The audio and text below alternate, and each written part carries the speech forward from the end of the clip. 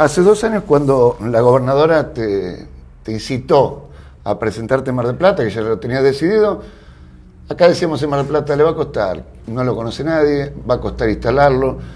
Ganaste las PASO, derrotaste a Vilma Baragiola, que era la candidata a intendente en Mar del Plata. Hoy ganás por tres puntos, una diferencia que es la más estrecha del 83 a la fecha. ¿Cuáles fueron las claves del triunfo?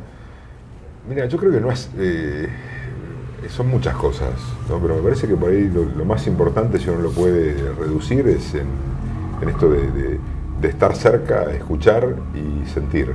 ¿no? En esto de, sentir los problemas de la gente y, tratar de buscar soluciones. ¿no? Y, creo que también nosotros acá fuimos un, ejemplo, yo creo que la, dirigencia política de Mar del Plata era una, una campaña que, incluso hablamos varias veces, una campaña que, no hubo agresiones, que, que eso también se trasladó a la a la no agresión en la calle, ni en las mesitas, ni en la pintada, ni en esto. Y me parece que eso es muy bueno para lo que uno quiere construir. O sea, yo lo, yo lo planteaba durante la campaña, algo que, entiendo que se tiene que hacer para gobernar. Y, yo cuando alguien me dice, no, pero estoy, digo, bueno, a ver, déjame, déjame escucharte, porque por ahí estoy equivocado. ¿no? Yo digo, no, no me siento el dueño de la verdad de ningún tema.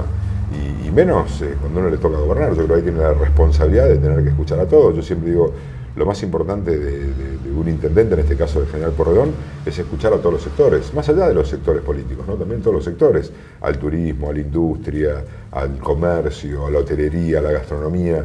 Me parece que este contacto es lo que nos está faltando para, para esa buena toma de decisiones que tenemos que hacer los maplatenses para, para empezar a ser una ciudad que, no tenga el primer índice de desocupación, que, tenga turismo los 12 meses. Me parece que eso va a ser responsabilidad de todos, no de, de uno solo.